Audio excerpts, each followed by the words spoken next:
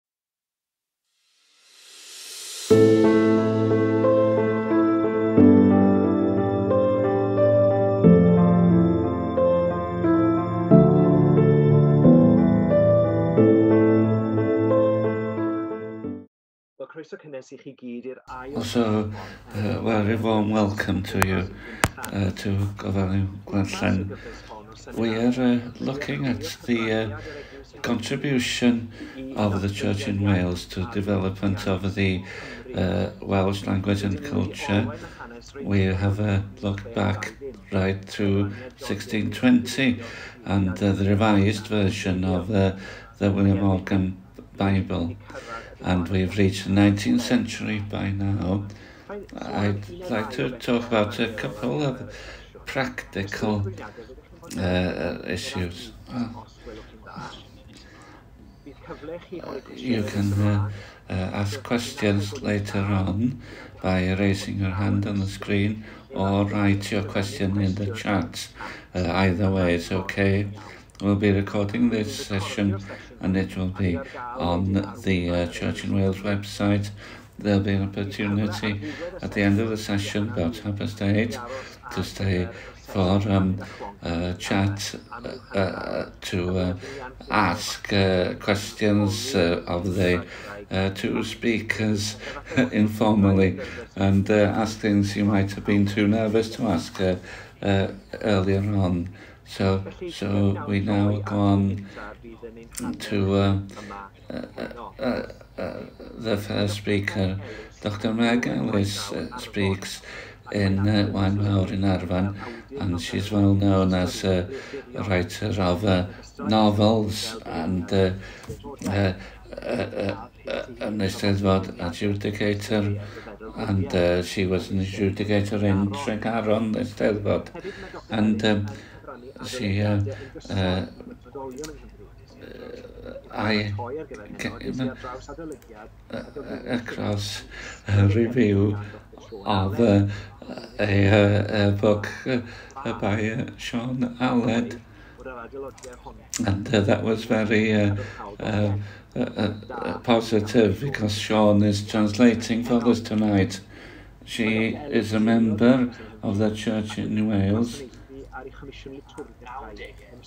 And uh, the title of uh, uh, uh, a presentation today is The Contribution of Thomas Richards, Daniel Hernandez Sons to the Life of the Church.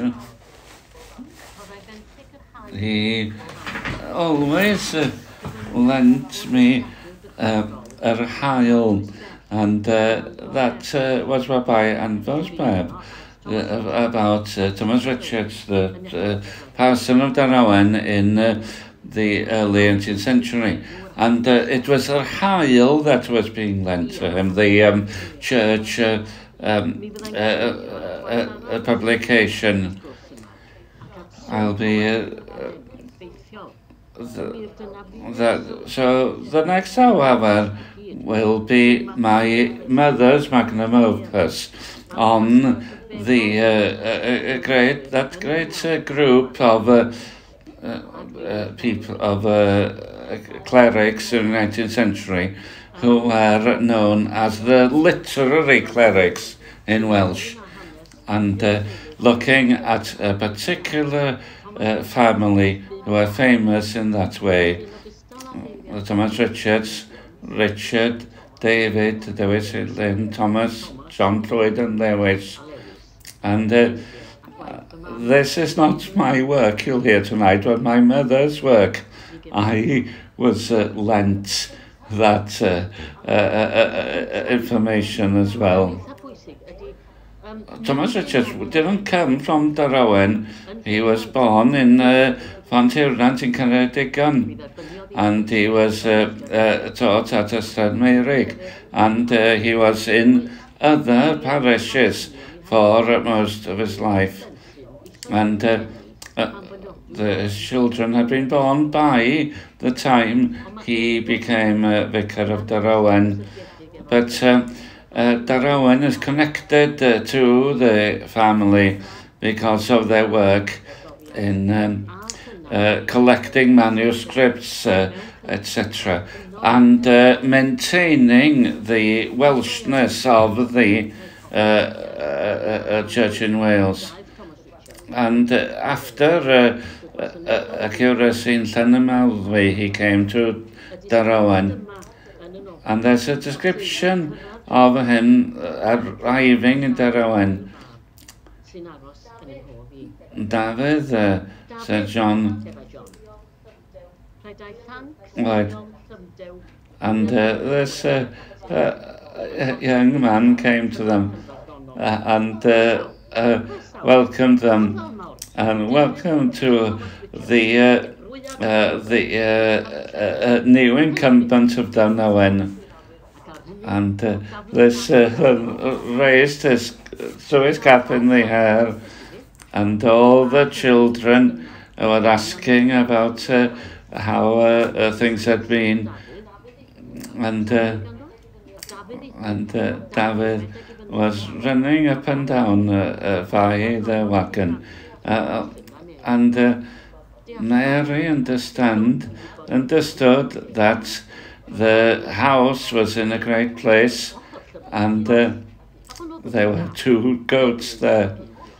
in with this of the all of the noise, the baby woke again. At the turn of the century in 1800, they came to rowan But since his ordain, uh, ordaining in 1774, he had served in Eglwys Bach and Llanganfelin in Ceredigion. His uh, interest was great in the literature of his country and its folk songs. He was called a Methodist uh, um, uh, a person and uh, he was a great evangelist in North Ceredigion at the start of his uh, career and he was interested in um, uh, uh, uh, in uh, uh, archives and in uh, manuscripts And he, be he believed very strongly uh, in education and he really um, uh, sacrificed to give um, uh, a, uh, a good education to his five sons and three daughters. So we need to remember the dates 1754 to 1837.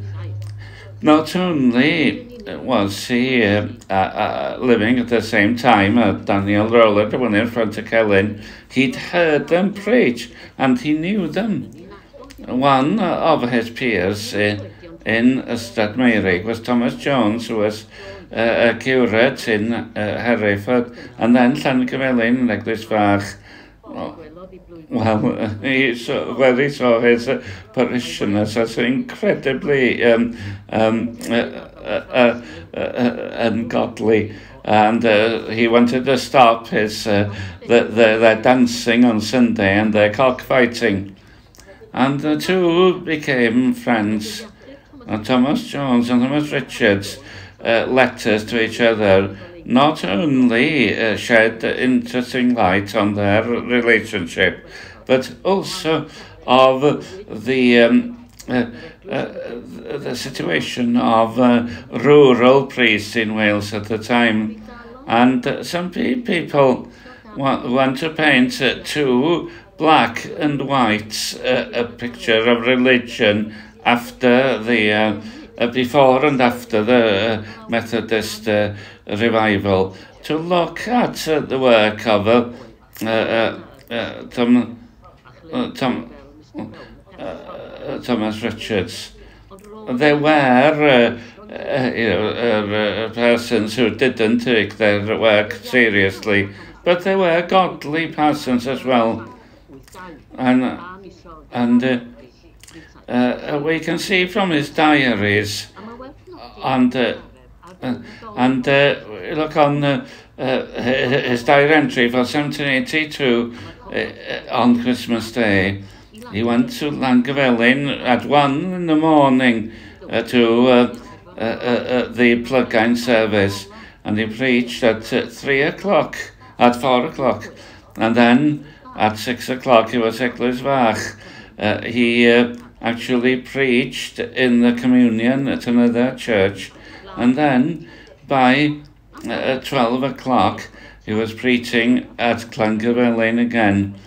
He uh, kept to the uh, uh, uh, early morning plugging surface all his life.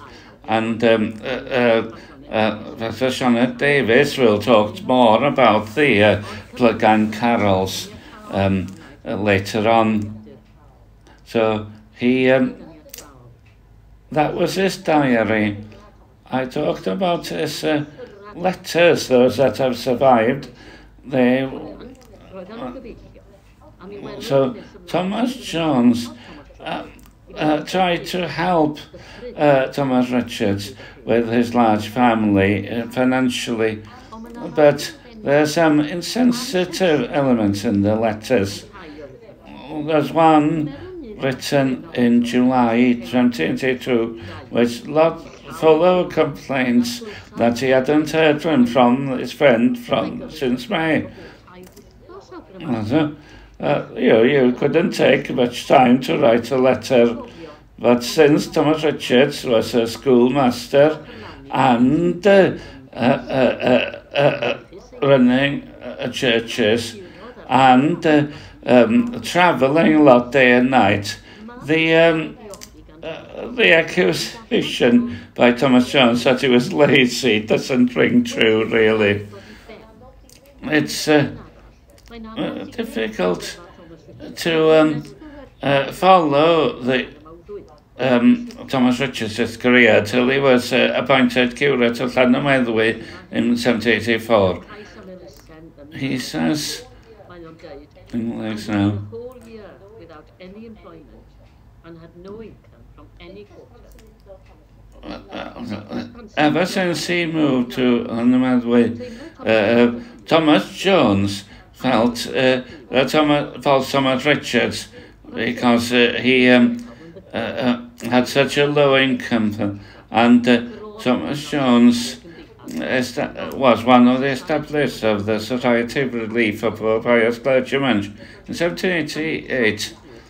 Uh, there was uh, help was given to Thomas Richard from this uh, fund, and Thomas Jones uh, was uh, uh, pushed uh, uh, richer um, uh, uh, uh, uh, uh, uh richer priests to help people who had uh, better connect uh, uh, from people who had better connections with uh, bishops etc. And uh, Thomas Jones shown uh, Thomas Richards, how to come out of his uh, problems. Uh, and in 1797, he said, that Thomas Richards uh, felt that he should everything he could to give the best possible education to his sons. Uh, despite the um, sacrifice that meant. Ten years later, the three uh, oldest sons of uh, Thomas Richards have been ordained, and uh, Thomas Jones wrote in 1809. It must be highly gratifying for parents' feelings to find his sons such proficients in literature after labouring under peculiar disadvantage to give them petition. May they be found faithful to the vineyard of the Lord. Hmm. In the end, uh, five, uh, the five South Somersetshires were ordained, and during his time in um, Darwin, he actually um, raised eight young men to be priests. And to call him a Methodist could have been seen as an insult. but that may have been uh, more of a reflection on his uh, detractors uh, that, uh, and on him knowing how, what Thomas Richards did in terms of work for the gospel. In the early days of his priesthood, uh, uh, Yet I declare now if I was not already ordained, I would endeavour to be admitted into orders in our own established church before I would desire to be a minister in any other denomination whatever. Now we come to uh, the sons of Thomas Richards. Uh, Richard, right, uh, who there was the youngest son, that was the baby that uh, uh, Uh, uh, who was crying when they reached Derwent. One, Richard was the only one to write a kind of an um, autobiography, and he had a, uh, was known as a strong uh, evangelical preacher um, compared to John Elias. And um, they both uh, preached for the Bible Society. For, um, of all the children, Thomas Richard, said his mother,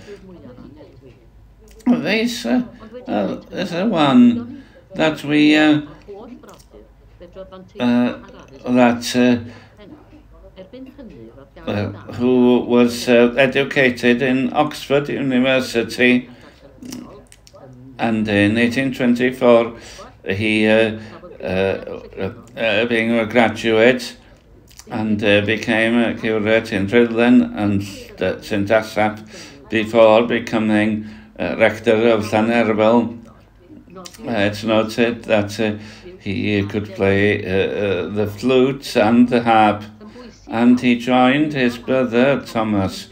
The uh, the uh, idea to uh, unite uh, the um, uh, uh, uh, uh, uh, uh the diocese of. Uh, St Athas uh, and Bangor. And Lewis was uh, very concerned against this, which was defeated in the end. Yeah.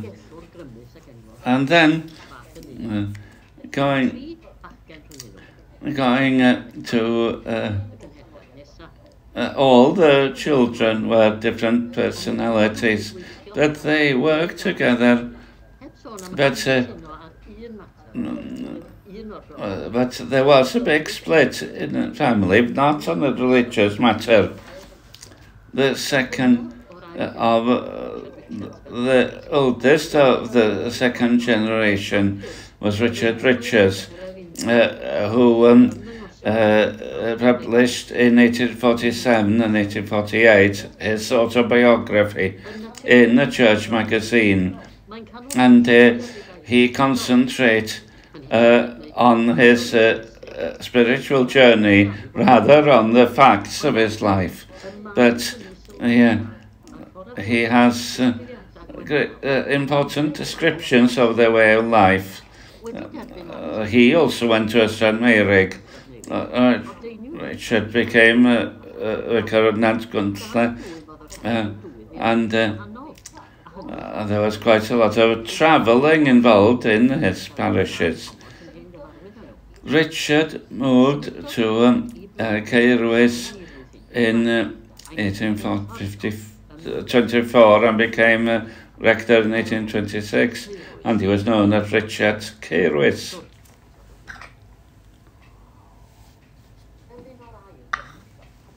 As one of the second generation, he came to know the disciples of Daniel Rowland.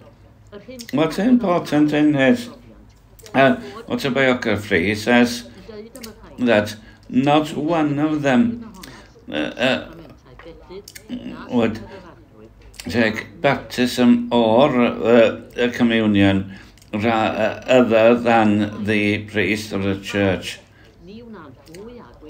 But now, but later they uh, uh, rejected the church, and we can see uh, this split happening within one generation and the Richards family saw this happening. We can see Richard Richards as a kind of chain between the uh, literary uh, priests and the Methodists. And Richard Richards was uh, um, uh, very interested in uh, uh, Eisteddfodau and uh, uh, of course, there was a uh, a tradition of Eisteddfodau in Caerwys. And Richard was one of the establishments establishers of the uh, Welsh uh, Church um, magazine uh, gwyliedydd. And uh, Artie Jenkins said that that was the best uh, magazine in Wales at the time. A lot of the The evidence suggests that many of the articles are Richard Richard's work, and we know how uh, uh, strongly he worked for the uh, uh periodical, and also Thomas Richard Hertz, uh, the rector of Llangan He was one of the founders of the Gwiliadur, and he was very in, uh, interested in his as well. and became Secretary of the power Eisteddfod in 1821, looking at um,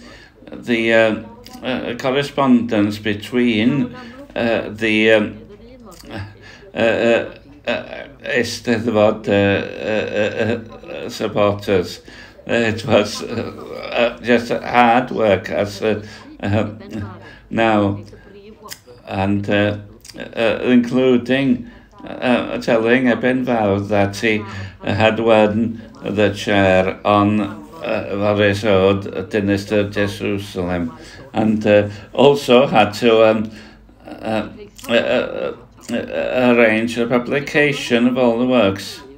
Now, Thomas Richards, uh, Flanner, had uh, uh, been offered the parish, but uh, uh his, uh, uh, he suggested his son should uh, bu vicar there. And Tom could be quite uh, funny in his uh, letters. I can't come there now. We have, uh, uh, uh, we have the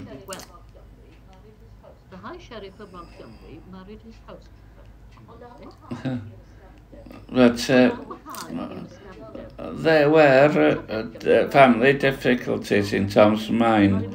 We had the impression that he, of uh, uh all the um, the sons who took on the uh, uh, uh problems of family, and one of the problems was David. David in the second son of the senior Thomas Richards. He was uh, an adjudicator and president of Eisteddfoda. Uh, he um, was a great musician and uh, collected um, uh, uh, uh, manuscripts. And uh, and he liked hunting hares and uh, um, could play the harp himself. It's most colourful of the brothers, and the one who died first. He was ordained in 1809 uh, and uh, uh, licensed to Pembrey in Carmarthenshire. And then he went to Newton and then became curate of Nantglyn and then became the curate of Llansillen in 1816. All the time He had to do with all kinds of uh, uh, cultural um, uh, uh, uh work, i'n establishing a branch of the Gwyneddigion in Antlin.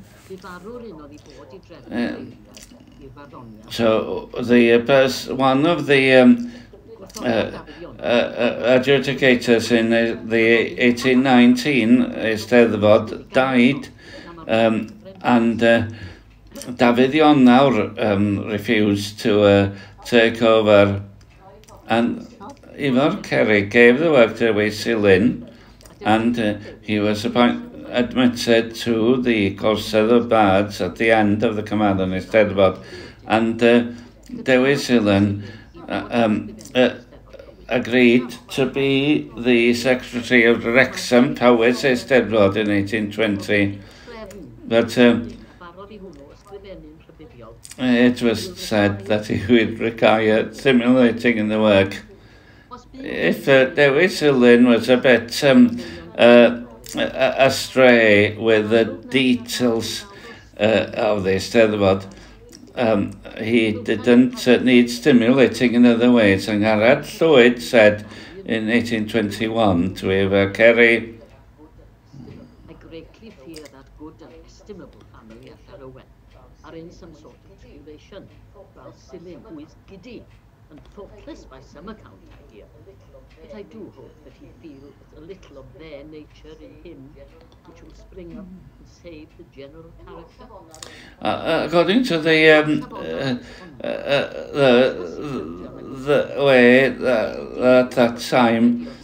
Uh, it could have uh, uh, just been that he drank a bit too much in Eisteddfodau and uh, maybe flirting with uh, the uh, barmaids.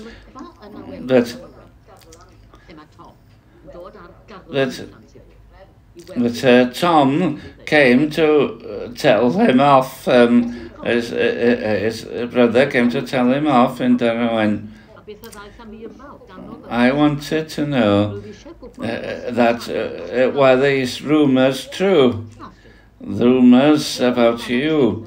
Um, I know that you uh, waste your time with these um, um, silly birds. Well, yeah. And uh, well, I'm saying that uh, uh he really did his best all this time. Uh, he couldn't bring uh, uh, uh People could come to the church. He said, well, but there are, but Thomas said, um, the, it was more serious. How much time do you uh, spend in the pub? That's uh, you went there. Uh, well, was his love in the pub, and uh, they married in uh, Shrewsbury in 1823. Uh, and uh, the poets um, uh, were uh, very happy about that. But the Darwin family weren't happy. They said, I, talked about the late uh, to Conant, and Mary Richards says uh, about uh, said about her new sister-in-law uh, that she dressed like a peacock. So uh, she was thought of uh, as marrying above her station. Uh, apart from those um, uh, comments, Ellen is never mentioned much, but they had two children, Ellen and Thomas. it's difficult to say whether it's the the uh, coming of the children uh, or the um, uh, illness of Dewi Silin uh, that uh, brought the family together. But, uh, you know, even then, there's no mention in the letters about his wife. And he died uh, that year. has uh, uh, uh, John Lloyd Richards, the fifth child, is in danger of being put in the shadow of the other brothers. Although, but uh, uh, we really don't know enough about him. But uh, we know that uh, he was a harpist and uh, he uh, uh, uh, followed the Eisteddfodau but didn't actually um, actually contribute to the Gwyledydd at all. He wasn't a kind of country bumpkin. He was a reader of books all his life. The, and we uh, uh, we have uh, just accounts for about five years and one diary noting uh, his uh, uh, uh, uh, one Christmas. So it was a good plug and a lot of drinking at night. These were the kind of things that, that um, uh, actually led to stopping the plug-in service. And he uh, died in 1854 after uh, years of illness. By the end, the all the uh, uh, uh village uh, by the end, end of the century was uh, under the Llyn Ifynfyrnwy reservoir. But uh, oh, I can I can see see the work of a rural uh, priest who wasn't uh, uh seeking um, uh, uh, anything more.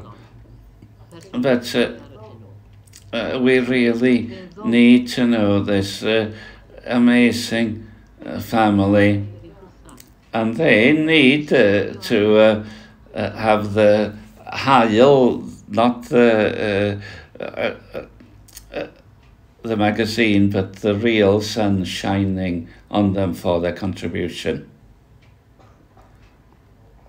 Well, thank you very much, uh, Meg, for that uh, presentation. Uh, an exciting presentation uh, would give us a short um, a picture of this uh, uh, uh family.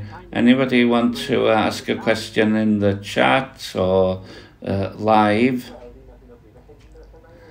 So I'll ask one if I can. You've mentioned individuals who was uh, immersed in the life of the church and uh, the language and culture of Wales. And um, you were talked about the five sons uh, who are uh, uh, priests. But now, of course, uh, there's a, a real shortage of uh, uh Welsh language uh, uh, candidates for the priesthood. So it's a lesson to learn from uh, the uh, uh, uh time of Thomas Richards and his sons.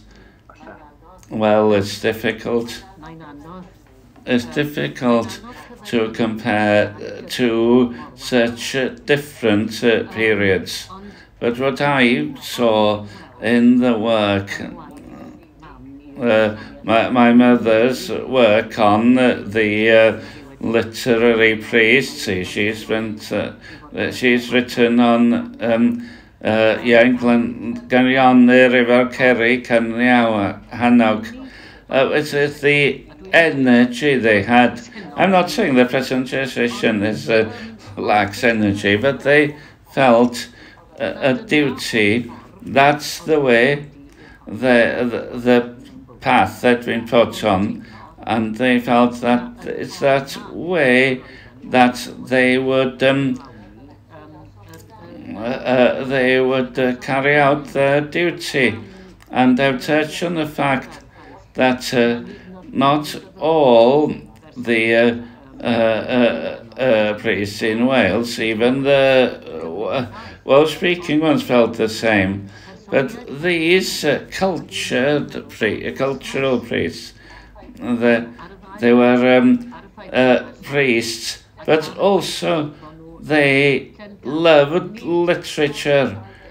Not they weren't uh, two different things.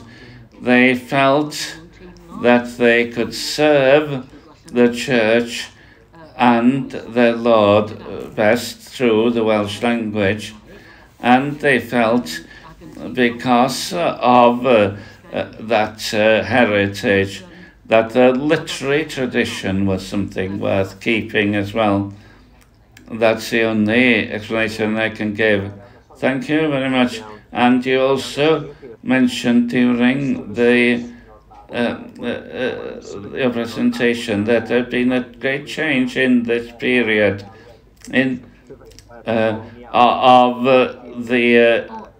the nonconformists firstly accepting the sacraments of the church and then uh, moving to being distant from the church, and there was no desire uh, um, among the early reformers to break away from the church. They wanted to uh, improve and uh, revive the church, uh, I would think was their intention. I'm not uh, a professional uh, history in that period. But uh, of course, um, the the break became bigger. But we see this family as witnesses in that time and place to that divide happening. Sorry, I've got a sore throat. Oh, it uh, gets better. And uh, I think they uh, are right that the intention of the reformers was to stay within the church and uh, and some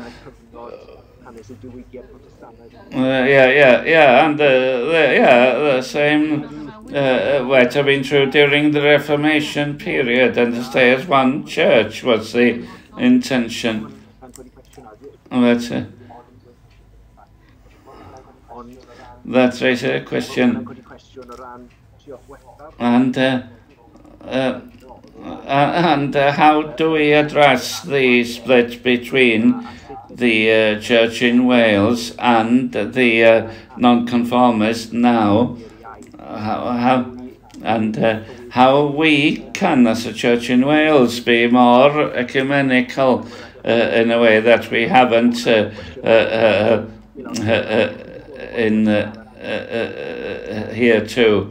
And Rhedianas, a question, da, do the diarists let us talk about um, baptizing the instruments in the church? I can't remember uh, uh, uh, uh, uh enough about this because there's so much uh, work by my mother about all this. But there is a mention and then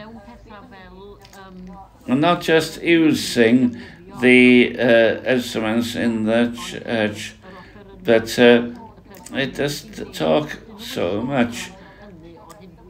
But, but uh, they're in the account books uh, about uh, paying for a harp, etc. So, so it's not baptizing the instruments, but using them in the church. Well, thank you very much. As Hydian will be glad to hear that.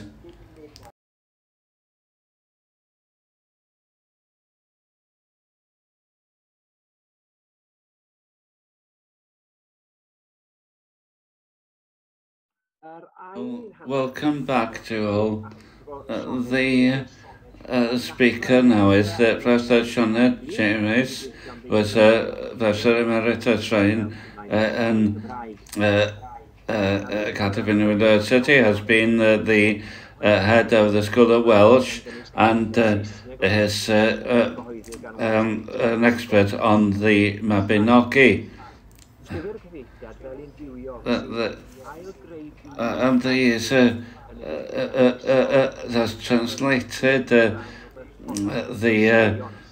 Mabinogi. Uh, uh, actually, uh, uh, uh um, showing us the power of the story teller and she's working on the translation of Braithwaite on Nabwy uh, and she's all interested in the 19th century, expressly the dramatic preaching and uh, the confusion of women to uh, the literary world and she's going to talk tonight about two women who were very influential at that time. The title of this his uh, her uh, uh, uh, talk is to influential women mae Richard Owen yn dyngharad llwyd.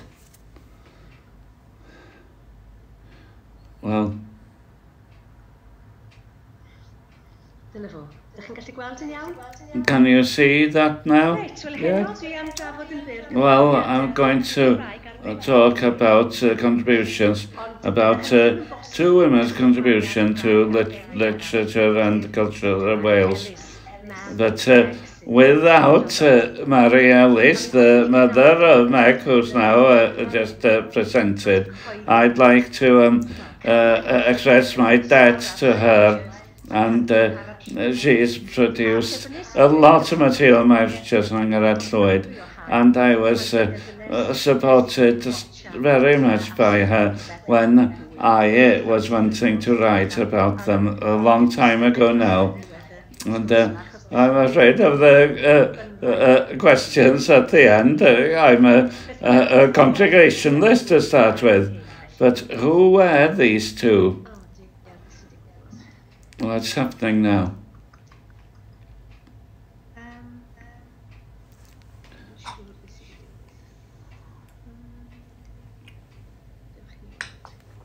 Not sure what's happened now. So, we'll uh, do it this way then. Well, Llangharad Llwyd, 1780-1866. She was born in Cairwys in 1780 uh, to Martha Williams and John Lloyd. And uh, we know very little about the mother, but we know that John Lloyd was the um, Hassan of Cyrraedd West, uh, originally from Llangarmon and Ial, and he graduated in uh, uh, Oxford. And he knew a lot of the um, uh, William Horan Pugh, uh, Thomas Pennant, uh, great um, uh, uh, uh, scholars of his day. And uh, his contact uh, with um, the scholars and with uh, um, uh, uh, uh, uh the rich people at the time uh, was important. The, the three, three sons was university educated and um, and uh, the uh, but the uh, daughters had a different story. And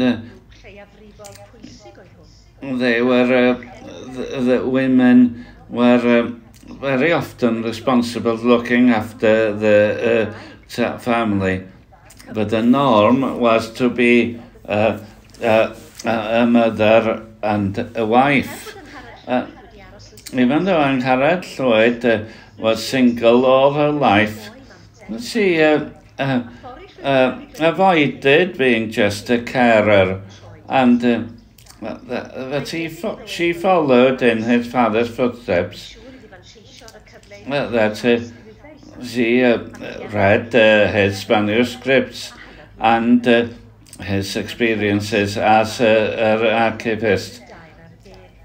But he died when she was only 13, but uh, he must have had an influence on him. And um, she inherited all of his uh, manuscripts and added to them herself. What about my Richards? Uh, 1787, 1877. A little bit younger than Gerard Lloyd. Who was she? Well, uh, she was daughter of Jane and Thomas Richards of uh, Darowen and his uh, wife Jane They had five sons and three daughters. The um, uh uh, uh, uh, uh, father and the sons uh, were those literary priests um, who um, collected books and manuscripts. The five um, sons were priests in the church and Elizabeth and Jane uh, uh, were um, uh, uh, housekeepers of their, um, to the sons, but uh, Maya was uh, uh, educated uh, and she would uh, play the flute, for example, in um, uh, the church. And uh, the and the plug-in uh, services were imported for her, and she was up all night uh, before Christmas Day, uh, all her life. On, no, there was an interesting uh, uh, relationship between the uh, daughters and uh, the sons. And uh, uh, uh, uh they um, looked after their their sons, and then Meyer looked after her parents, and uh, and uh, and Meyer. Uh, uh Meyer eventually uh, moved to uh, her brother uh, in Mayfield and then to the brother Lewis and And uh, the three uh, uh, um, daughters then lived together in Bryntanad Llangebrir. So Meyer uh, uh, actually had her first proper home at 73 years old.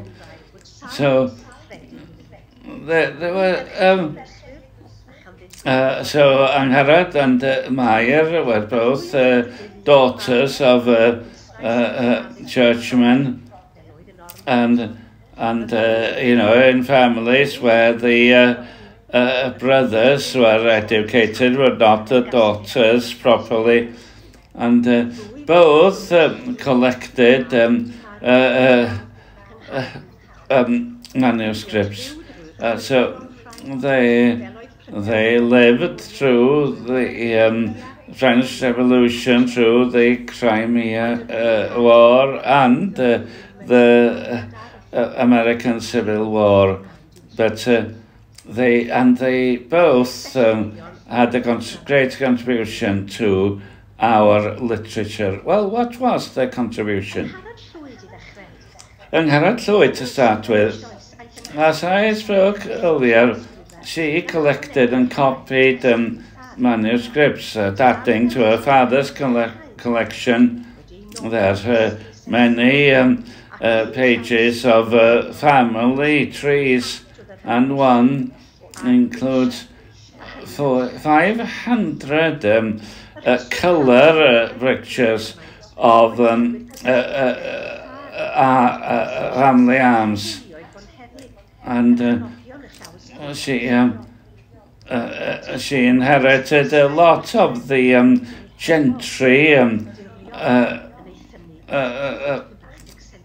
uh, manuscripts.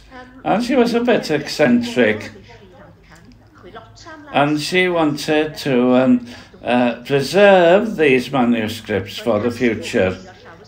Uh, collecting and copying uh, manuscripts and translating them was Conlon uh, a thing at the time. But uh, she didn't just do that.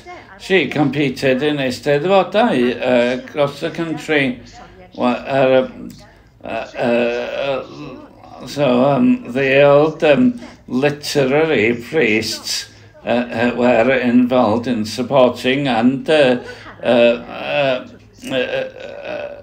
setting up eisteddfodau in uh, the Welsh Bull Eisteddfod in 1824. She was um, uh, uh, she, uh, she got the prize for um, uh, a collection of uh, manuscripts and she um, published a history of Gwydir family But her main uh, uh, uh, published work was The History of the Island of Mona, which was got the prize in 1832 in Beaumaris. And it's quite a radical publication, actually. Uh, uh, which uh, corrected some of the English interpretations of the history of uh, uh, Uncle Sim. so she has a description of the island, Venice, minerals of fossils, harpers and druids, and uh, talked about uh, specific places like Wilmaris, like Llanwais and Bodedern, and... Uh, right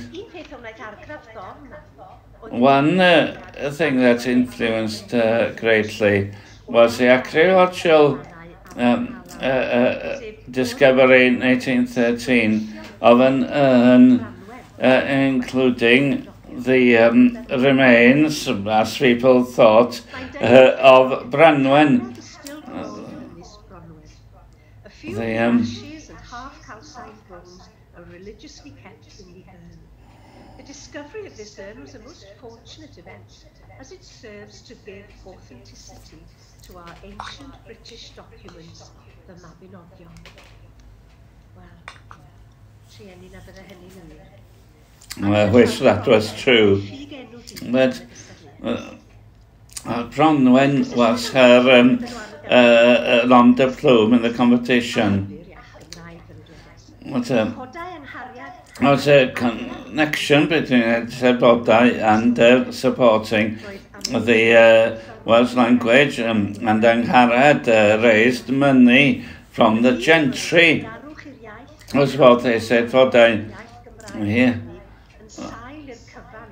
And um, everything she did was placed on the uh, uh, the language and its survival. She protested um, when the language uh, wasn't respected.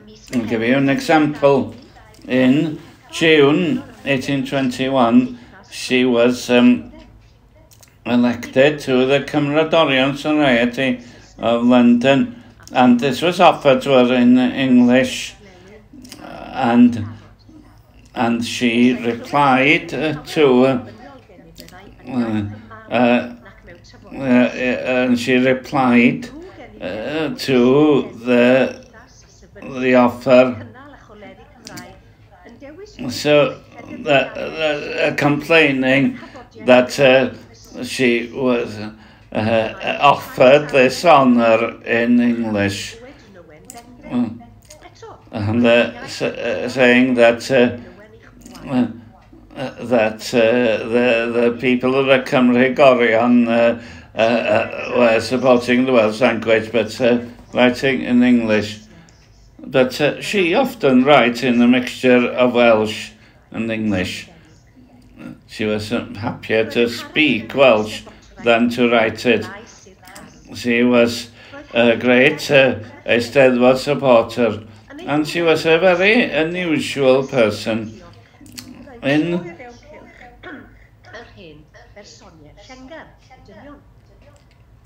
And uh, she was uh, was to man's company mostly. But then she uh, found a circle of uh, women in uh, uh, uh Abergavenny. She became a good friend with Gus uh, Hall o Llanover. And uh,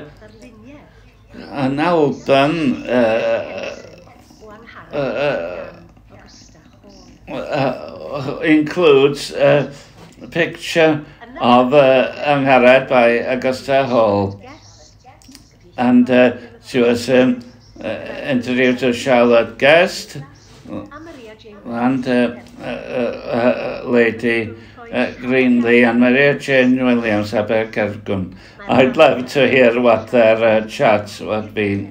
There. And uh, she obviously enjoyed the, the company of these women. It's uh, totally different to um, uh, life in uh, Cairwys. Ad uh, angharad Lloyd doesn't say much about a personal feeling. There's a clear suggestion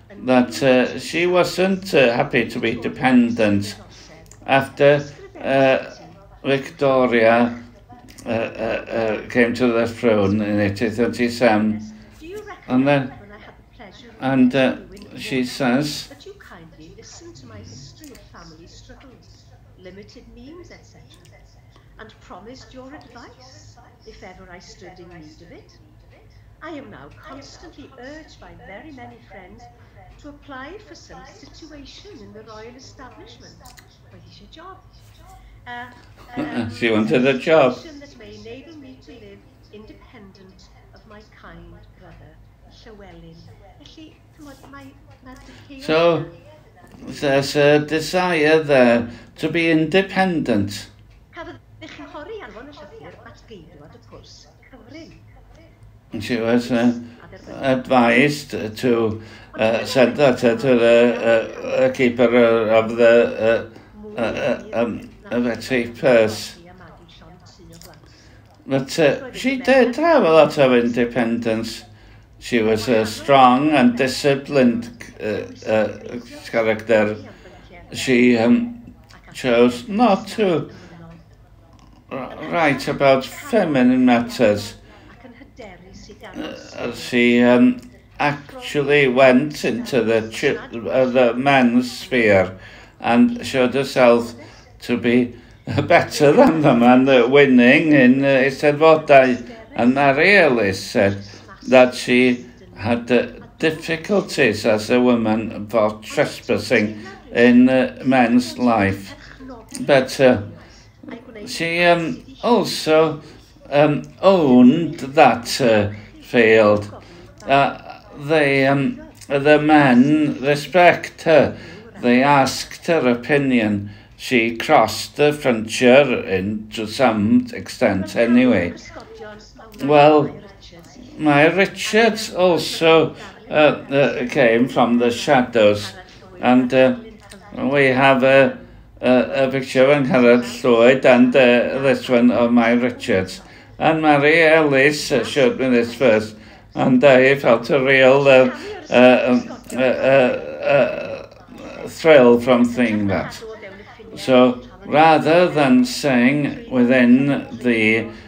normal uh, uh, boundaries for women, she came out and uh, contributed to the uh, literary, musical and cultural fields.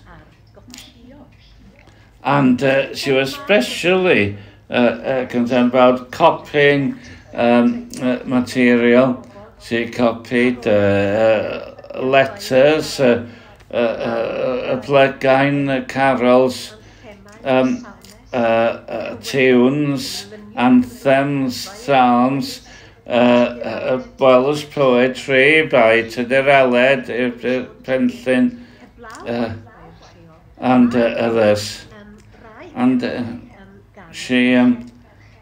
uh, also um, had copied some uh, poems by women. And you see that a book there has been produced 1961 by Robin Hugh Bowen and uh, uh, uh, uh by her uh, of her um, uh, tunes. sometimes I wonder if uh, that her uh, brothers didn't think these tunes were worth recording, but we have a great debt to her. So we can see that Maya Richards, uh, differently to Angharad Lloyd, didn't want to uh, use her own voice. Angharad Lloyd wrote um, um, uh, uh, articles, etc. But Maya Richards ahead uh, behind other uh, uh, uh, people's ideas, men mostly. So she was a bit like Charlotte Glass, like uh, so that translation and copying um, gave women uh, the opportunity to um, be involved in literature without uh, challenging men. So Angharad Lloyd has a uh, Uh, uh, an index to the manuscripts that she owned, but not by Richards. She used uh, the um, uh, empty pages of the account books of his brothers to write over, and it was a nightmare to read them. And everything that she wrote uh, is on things like this. Uh, sometimes he uh, copies poetry very tidily, but uh, often there's no real plan to her writing. She doesn't record chronologically, so it's difficult to date the manuscripts. So the, often there might be a a personal comment at the end of the page about the weather, is etc. And then uh, sometimes bits of paper are attached to these. So she uh, she um, often referred to herself in the third person, hoping that somebody else would take notice. But Maya Richards does find her own voice eventually. In 1818, When she was 31, she went to London for six months, uh, eh, her great adventure.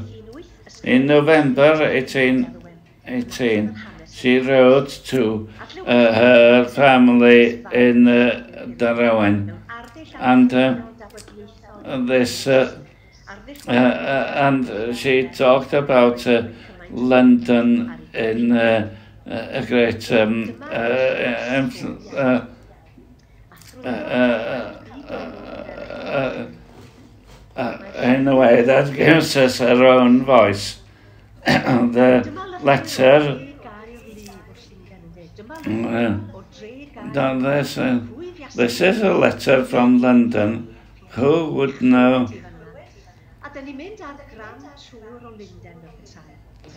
Right. It talks about uh, uh, going from Brixton to Charing Cross, and uh, one of the high points was uh, was from therapy, and then she steals. Uh,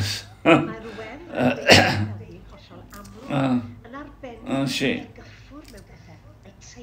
she just fails things uh, sitting in the king's chair uh, she uh, talks about the um, uh, embroidery around her. We know that uh, she loved embroidery, including two quilts that she produced.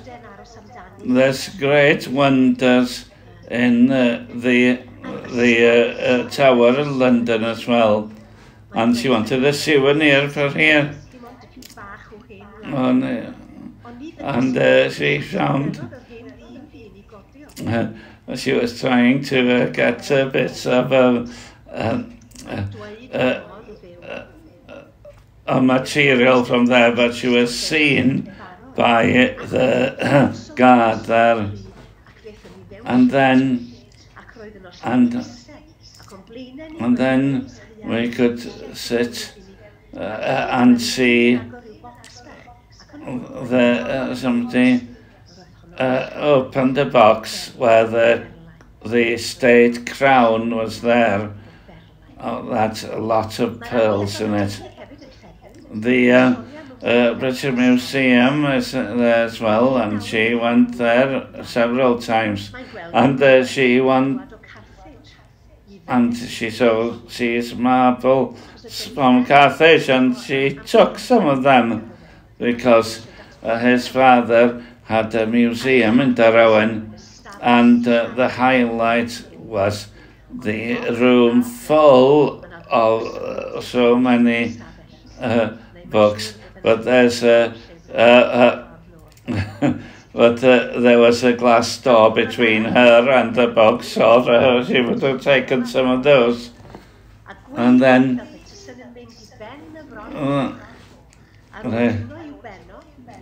and then she... Uh, she uh, uh, climbs the monument uh, and she looks around the river. Uh, but she didn't have a telescope and she but she carves her uh, uh, name on the monument, and then uh, she steals something from there, and then Guy's Hospital in uh, and sees uh, run uh, barrels and ground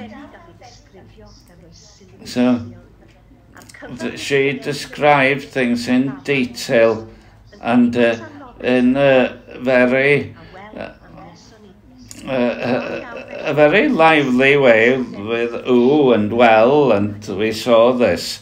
So it's a kind of a, a, a, a very uh, flowing uh, uh,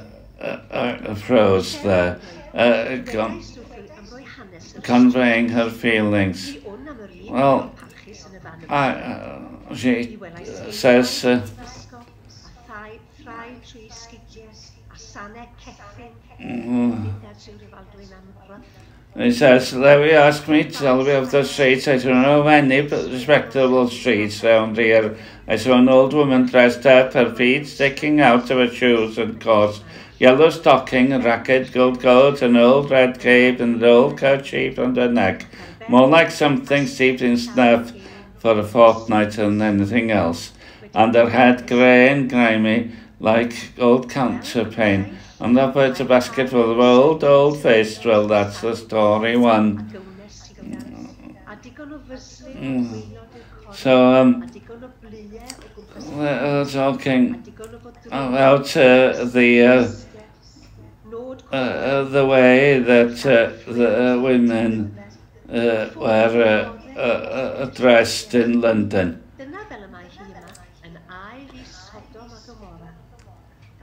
And they said that uh, was like uh, Sodom and Gomorrah.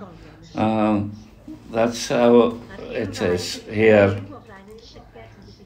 The old Odyssey talks about there is uh, full of um, a description that uh, had a lot of alliteration and uh, to be read to his uh,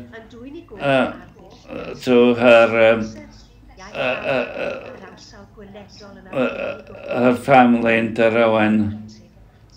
And uh, well, this is some creative uh, uh, writing that is worth our talking about London, women, uh, uh dialects, etc. And then her personal voice comes later when she was in her 60s, living in Mayveld with his, her brother Richard. So, um, so the, the difference between the uh, letter from London and uh, the work in Mayveld um, is uh, obvious. Uh, 40 years had gone by, but So the um, st state of mind of the old lady uh, to, uh, talks us uh, talks to us about uh, uh, everything turning around the church and the house, but she's still copying and uh, organizing her papers. people from London come to visit and. But throughout the uh, diary, we can hear the time uh, passing by. And uh, she doesn't uh, like the singing in uh, uh, uh, uh, in the church, no realization of rhythm. But and the language of the church uh, uh,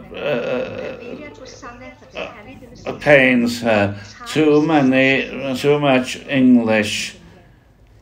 Uh, you know, and everything in English when there are 60 Welsh speakers and three English speakers.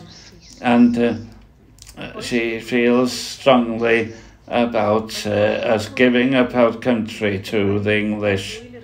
Uh, she um, misses the uh, Eisteddfodau and she sees the uh, golden age of the old uh, uh, preachers, uh, the old priests coming to an end.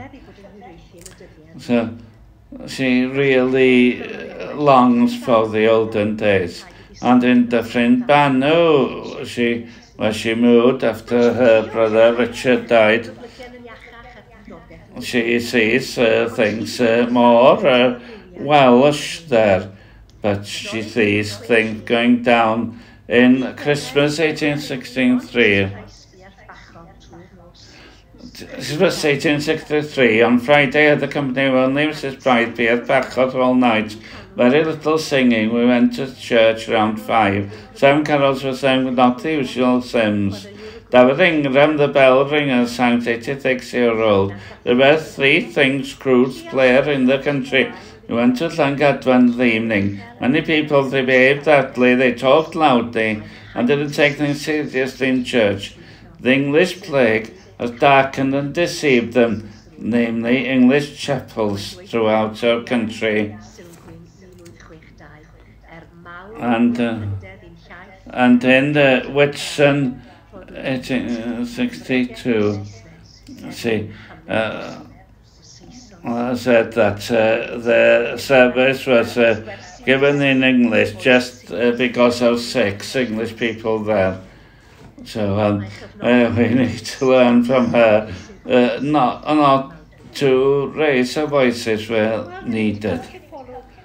Well, we've had a look at the contribution of two unique women by the 19th century. They were... a yn y milion yn, wan, yn married women um, uh, in England and people asking what should we do with old maids and what are, why are women uh, redundant? And this was a threat to the uh, state of things. And uh, they they were often uh, uh, uh, criticized and attacked, and especially uh, when uh, they became older and uh, uh, they were seen as a burden on the family. But uh, one or two of these uh, single women come out of the shadows, and this is what Angharad Lloyd and Myra Richards did. They didn't keep within the normal boundaries for women, but they came into the sphere of uh, the men, well, within um, uh, limits, of course. They couldn't become um, priests or go to university, but they could contribute culturally.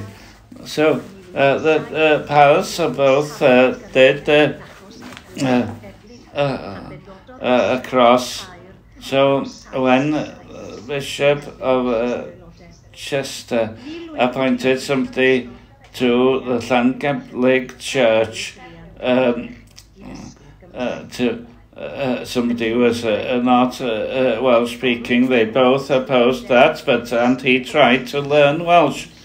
They became both members of the Cymrudoria Society of, of London, and they became uh, of the Holocaust celebrants. When Enghara died in 1866, Meyer uh, uh, uh, was worried that uh, that her collection might be lost and wanted to establish a collection of them. Well,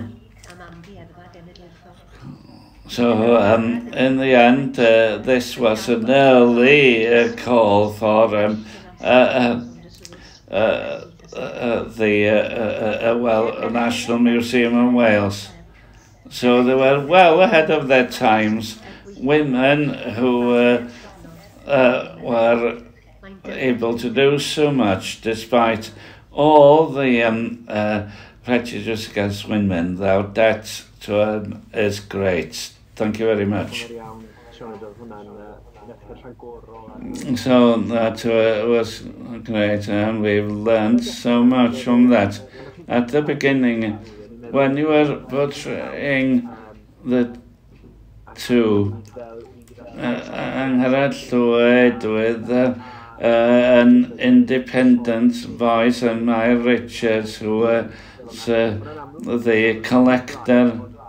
But as the presentation went on, Meyer hefyd had uh, also had uh, uh, things to say about the Anglicization of things and uh, the loss of language and culture. So great, thank you very much. I think the question has come here by Professor Margaret Haycock. No, she's just th saying thanks. Um, asking a question.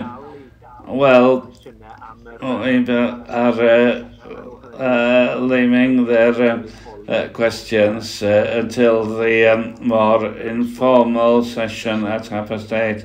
So I want to thank both of you and we're going now to Dr. Uh, Paris Faith from uh, the Llyn Peninsula who is going to uh, say thanks on behalf of all of us.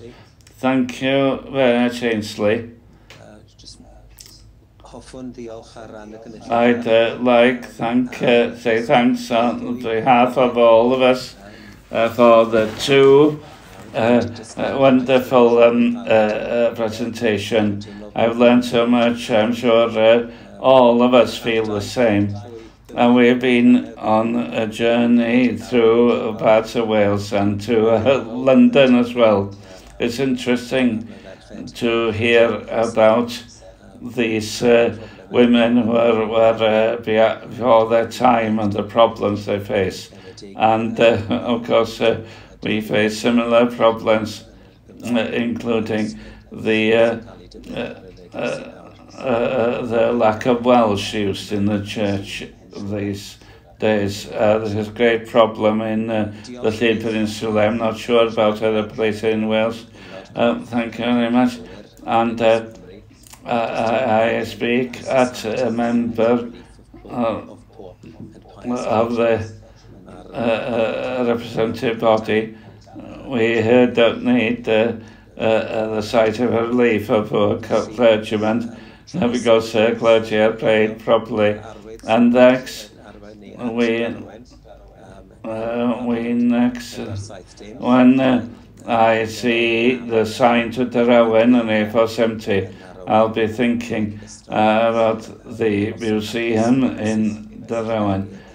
and uh, the uh, happy evening I had uh, uh, uh, uh singing the plug in in uh, Glysan Sitter uh, many years ago.